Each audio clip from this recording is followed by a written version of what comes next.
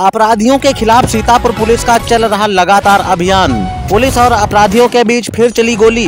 25-25 हज़ार के इनामी दो अंतर जनपदी बदमाशों सहित चार को पुलिस ने किया गिरफ़्तार। सीतापुर क्राइम ब्रांच व सदरपुर पुलिस की संयुक्त टीम ने मुठभेड़ के दौरान पच्चीस हज़ार के दो इनामी बदमाशों सहित चार को गिरफ़्तार कर लिया। पुलिस की जवाबी फायरिंग में दोनों के पैर में गोली लग गई। एसपी चक्रेश मिश्रा ने बताया कि उपचार के बाद सभी अपराधियों को जेल भेजा जाएगा।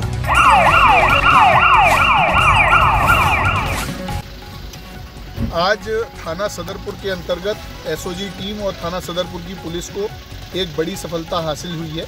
इस क्षेत्र में पिछले कभी काफ़ी समय से एक गिरोह सक्रिय था जो आ, लोगों की भैंस और अन्य तरह की चोरी नकबजनी लूट इत्यादि के कार्यों को कर रहा था। पुलिस टीम के द्वारा इनको लगातार ट्रेस किया जा रहा था। इनमें से दो अपराधियों को आज थाना रेवसा में गिरफ़्तार किया गया जिनके पास से एक पिकअप एक चोरी की भैंस व अन्य कुछ सामग्री बरामद हुई। उनसे पूछताछ के आधार पर पुलिस को अन्य जानकारी प्राप्त हुई, जिसके आधार पर पुलिस टीम के द्वारा जिसमें एसओजी की टीम और थाना सदरपुर की टीम शामिल थी। इनके द्वारा एक चेकिंग यहाँ चौकी दिव्यापुर के अंतर्गत लगाई गई थी। यहाँ पर दो अपराधी, जिनमें से एक का नाम इसरार है और एक का नाम किशोरी है। इन दोनों के ऊपर पच्चीस हज़ार रुपये का इनाम है।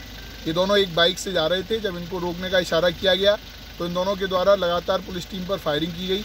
पुलिस टीम के द्वारा कवर लेते हुए इनके ऊपर जवाबी फायरिंग की गई, जिसमें ये दोनों बदमाश घायल हुए हैं। इन दोनों को गिरफ़्तार कर लिया गया है। इनको अभी इलाज के लिए अस्पताल भेजा गया है। पुलिस टीम में भी जो हमारे सिपाही थे, इनके द्वारा बहादुरी से इन दोनों को गिरफ़्तार करते हुए, इनके पास से एक बिना नंबर की मोटरसाइकिल, दो अवैध शस्त्र, कुछ चले हुए कारतूस और कुछ ज़िंदा कारतूस बरामद किए गए हैं। साथ में पंद्रह हज़ार रुपये नकद बरामद किया गया है। इन दोनों अपराधियों के ऊपर जल्द ही न्यायालय में पेश करते हुए कार्रवाई की जा रही है। साथ में आगे इनके ऊपर गैंगस्टर की कार्रवाई की जाएगी।